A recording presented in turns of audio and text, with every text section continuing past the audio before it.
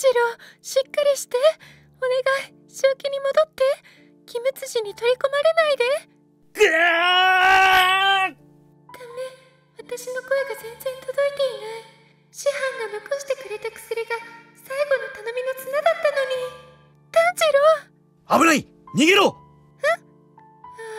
う終わり。私はここで死ぬのね。師範ごめんなさ眩しいここは天国かな？あれ？ここは蝶屋敷？間違いない。蝶屋敷だ。え行った。カナオ目を覚ましたんだな。炭治郎。傷が深い。まだ安静にしていないと。炭治郎正気を取り戻したんだ。よかった。本当によかった。ああカナオが打ってくれた薬のおかげで。待ってて今忍さんを呼んでくるから。師範師範が生きている。師範はあの時上限の鬼に。忍さんカナオがなかなか目を覚まさないからずーっと心配してたんだ。早く知らせてあげないと。忍さん！ううん。師範は生きている。きっと俺は悪い悪夢だったんだ。カナオみ水柱様？よかった。目を覚ましたんだな。体は大丈夫か？まだ横になっていないと無理はするな。あれ？水柱様。なんかいつもと違うような。本当によかった。カナオのことが心配で夜も眠れなかった。な、な、な、なに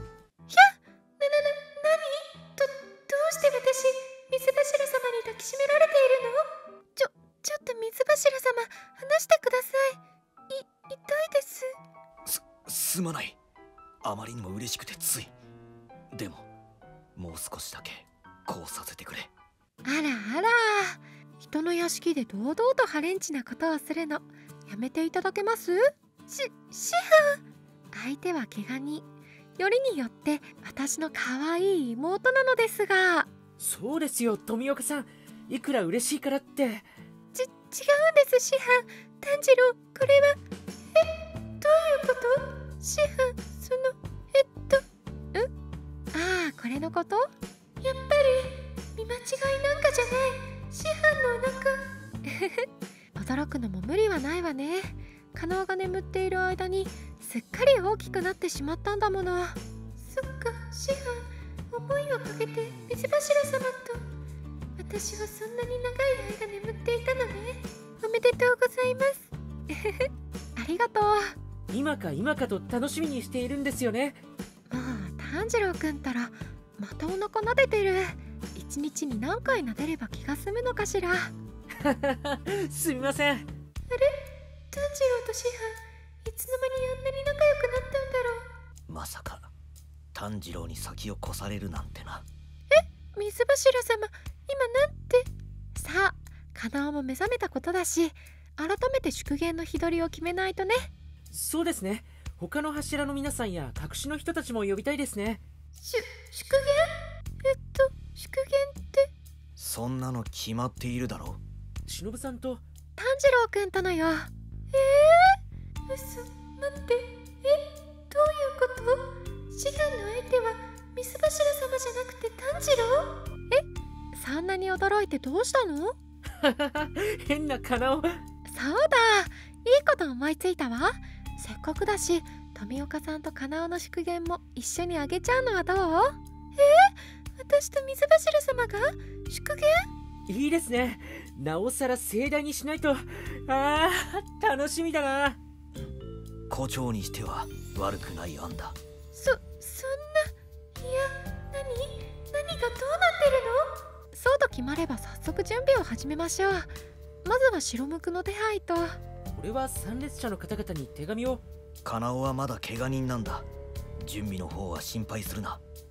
カナオ必ず幸せにする。だから今ここで誓いの口づけを。いや。は？水柱様やめて。はあはあは。ああれ？さっきまでのは一体炭治郎それに伊之助善逸水柱様みんな眠ってる師範水柱様やめてって。ずいぶんうなされていたみたいだけど大丈夫？夢の中で富岡さんに何をされていたのかしら？夢？よかった。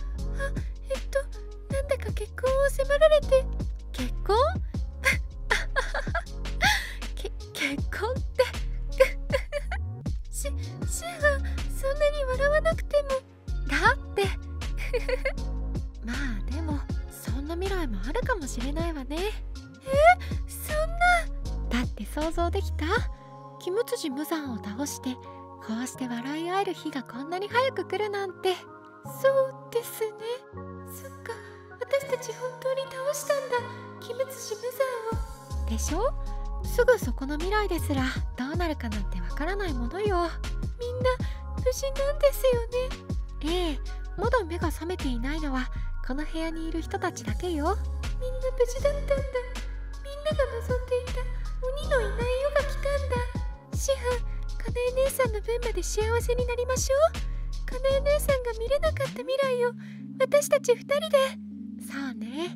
幸せな未来を。いずれはあなたは炭治郎くんと？師範私も独り身は寂しいし富岡さんとでも添い遂げましょうかね。きっとあの人は残っていそうだし。失礼なやつだ富岡さん目を覚ましていたなら声くらい。まあ誇張にしては悪くない案だ。え？だからそのあれだ。さっきの。ああもういいです。黙っていてください。私たちには幸せな未来が待っている気がします。だって今の姉さんすごく嬉しそうな顔をしているから。私も炭治郎の目が覚めたらすぐに気持ちを伝えようと思い